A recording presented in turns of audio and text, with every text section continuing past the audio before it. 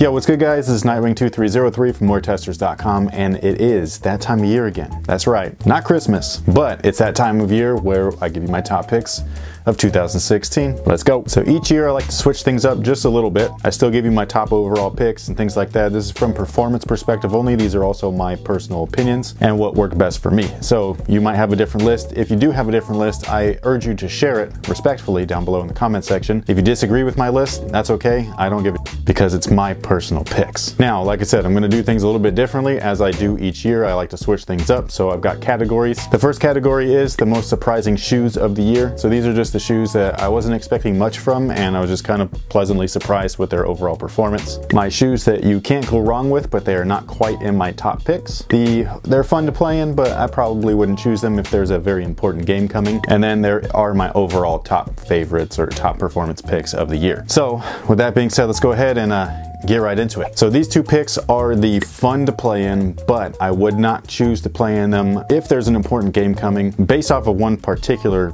attribute of each model, and that is the traction. The traction on both pairs is just a little bit inconsistent, and when you're playing in a game that really matters, traction is one of those things that you really want to make sure that you have because slipping at a crucial moment within the game kind of sucks. So those two shoes are the Air Jordan 31 and the Nike Hypershift. The Hypershift was actually a surprising shoe, was almost on that part of the list, but I really loved the materials on them and I loved the fit. However, the traction sometimes was amazing and then sometimes it wasn't. It was really good, especially if you were in motion, but as soon as you close those little like nubs or teeth or whatever, then you did get a little bit of slippage and that was right when you were stopping. And then as you guys know from the Air Jordan 31 performance review, is that everything on that shoe was awesome with the exception of the traction. The traction was just like, man, you guys were so close, but you kind of dropped the ball on that one because the traction you guys have done perfectly before. And so that's where I get a little bit disappointed where it's like, yo, if you've done perfect traction like the Air Jordan 28. Pretty good traction with the Air Jordan 29. The Air Jordan 30 I just didn't like and then the Air Jordan 31 was better than that but still not as good as those other two. You know what I mean? It's kind of like, dude, you were so close, so close. But those two shoes, they're really fun to play in. Personally, I really enjoyed my time while testing them. So if you do end up with a pair, or if you already are playing in a pair, I don't think you're gonna be too disappointed. Now the picks that I have for surprises of the year, there are three, and it's the Anta KT2, that's probably the biggest surprise, the D-Lillard 2 from Adidas, and then the Nike Mentality 2, because of the fact that they were so close to the original, but they improved on things such as the material and the traction. So that was a surprise because they looked identical to the original mentality, but for whatever reason, they upped the ante just enough to where I was like, oh, that was that was a nice, pleasant surprise, especially for their retail price. The D-Lillard 2 is a surprise because of the fact that the D-Lillard 1 was not a shoe that I really enjoyed playing in. There was a lot of sloppiness within the fit, especially in the heel. Whatever they did with the D-Lillard 2 though, whether it be the bounce, the jacquard upper, the different last, the external heel counter, all that stuff, and they gave you everything that is on that shoe for like 105 bucks bucks, which was probably the biggest surprise for me because at that time we were seeing shoes with the same materials and tech specs for 150 plus. So just based off of the fact that the D-Lillard 1 wasn't the best shoe and then the D-Lillard 2 completely obliterated that, they are definitely on that surprise of the year list. Now the, the first one that I'll give it to is Anta because I don't expect much of anything from them, which is probably why I'm Really surprised with the shoe overall. But like the D Lillard line, the KT1 and the KT2, the cushion difference between the two is crazy. So like the small things that they've done to, you know, kind of like make up for the I'd say lackluster first model. The second model really made up for it, which was really surprising. Traction was great, cushion was great, fit is excellent if you like that snug, narrow fit. If you want more fit recommendations on that shoe, all you gotta do is hit that performance review. And uh, yeah, so for a shoe like that to just kind of be like, mm, okay, they were all right, and then the second version come out and be like, damn, these are actually really, really nice surprise. So these are the shoes that you cannot go wrong with whatsoever, and that is the Nike KD9 and the Hyperdunk 2016. The Hyperdunk model is usually one of the best kind of like overall or all around shoes, you know, great for positions one through five nearly every year. Last year they dropped the ball with it. This year they picked it back up and they were like, yo, sorry about that. We're gonna fix things and do it right this time. So whether you're not, you want the high version, the low version, the elite or flyknit, whatever you want to call it, all of them had really great attributes, both the traction, the cushion especially, especially compared to last year, And then they have different material options and height options for those of you that want it. So if you want a low, they got you. If you want a mid, they got you. If you don't want any of those, but you want the newest, most modern materials they got, they got you with the Flyknit. Now, as far as the KD9, I really wanted to put that in my top picks list, but the reason why it's not is because of the inconsistencies with the durability of that zoom unit. Personally, I did not have any issues, but we have other testers on weartesters.com. And out of everybody that tested them, two of us, out of I think it's like six people, two of us had popped air units. And that's that's too small of a margin to where I can be like, okay, like, you know, maybe the issue is very small and minor and it's only happening like one out of like 25 people. But when it happens twice out of six people, that's not the best, you know, ratio. So it is on my list for, you know, it's a solid shoe, great traction, great cushion, wonderful materials, all that kind of good stuff. But you might end up with a popped air unit. I'm not saying that it's, you know, a common occurrence. I'm just saying that it's something that is like the 28s, the Air Jordan 28s. It was like more probable than anything. And that's kind of where we're at with this one. So hopefully next year, if they use the tech again, which I hope that they do, it's modified in a way to where it's more durable. Now, one last shoe in this category, and that is the Brand Black Rare Metal. It's a great shoe for 100 bucks or 110 bucks, something like that. Great cushion, great materials. I find that their traction is awesome. I played on them with many different courts, which is what I normally do with all of my shoes. I play on about four to five different courts. So, you know, some of them are kept really clean, some of them are not.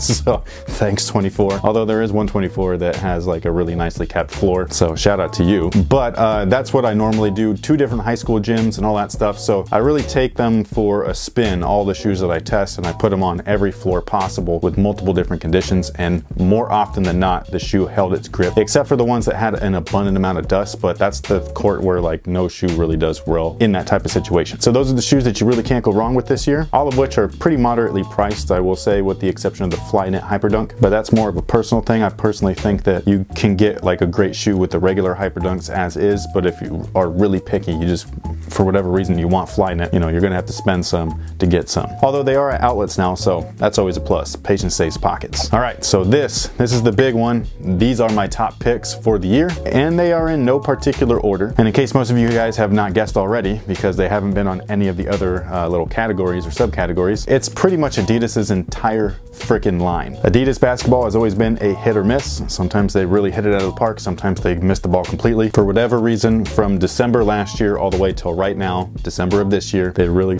killed it. The D Lillard 2 came out last year and it was amazing. Then followed that up with the D Rose 6 Prime Knit for the All-Star weekend. That was around February. And that was such a nice upgrade to the regular version that it, like I was like, yo, I don't even want the regular D Rose 6. The Prime Knit one is where it's at. And that is still one of my favorite shoes of all time, by the way. Got them right here. They are pretty beat up, but it's because I put a lot of love in them. And then you have their top trio of the year. They're like brand new models, which was the Crazy Light 2016, the D Rose 7, and then the Crazy Explosive explosive, all of which fantastic models. Out of the three, I'd personally pick the, uh, uh, what do you call it, the D-Rose 7 Prime Knit or Crazy Explosive Prime Knit, both of which offer a little bit different cushion setups. The D-Rose 7 and the Crazy Lights, they offer a very firm boost midsole, but they have a really great amount of impact protection. And then if you really wanted that plush feel, you go with the Crazy Explosives. Those things are just amazing. And then you had another surprise hit with the Harden Volume 1. Those end up being my go-to shoe currently because the rubber on those is so firm that they normally grip to courts that have pretty crappy surfaces. Those also have the least amount of boost in them. They have the thinnest slab of midsole boost, so you're getting a ton of court feel with some good impact protection, but you're not getting the amount of boost that you would on any of the previous models I just uh,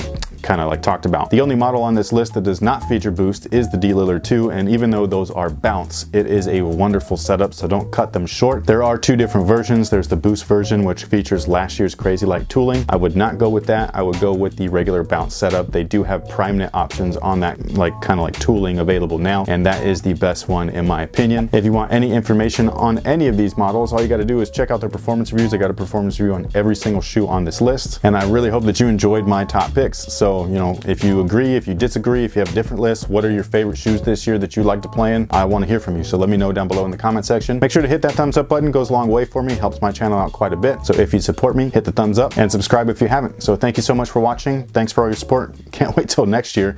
See what all these brands got for us next time. And until then, have a good one.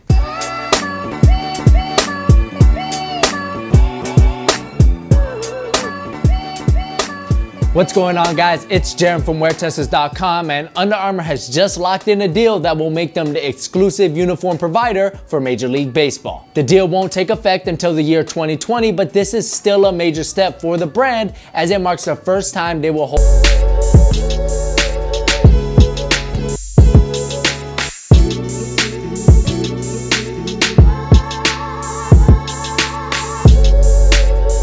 So as I was saying earlier, this is the first time that this shoe has come back in original shape since its original release and from what I can remember of the 2000-2001 series.